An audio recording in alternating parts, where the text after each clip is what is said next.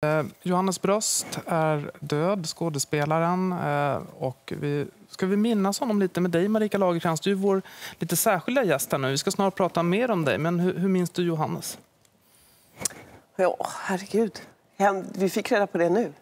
Precis, för några minuter sedan. Men han skulle ju vara med på måndag på Cancergalan. Ja, det var förberett inslag. Han, precis, han avled ju i sviterna av cancern. 71 år blev han bara. Det känns lite för ungt. En ung man, säger jag. Ja, sist jag satt med Johannes då var det i Karlstad. Vi bodde på samma hotell och satt upp en kväll och tjatade om livet och kärleken och politiken till sent på natten. Hur var han som skådespelare? Jag tror inte att vi har alltså, samarbetat faktiskt. Men vi har ju varit kollegor genom hela livet så att vi hälsar ju alltid varmt på varandra. Och frågar hur har du det?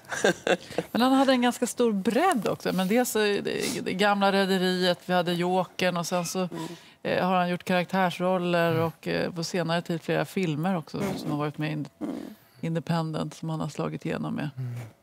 Mm. Ja, vi eh, ska fortsätta minnas Johannes Brost lite senare i programmet.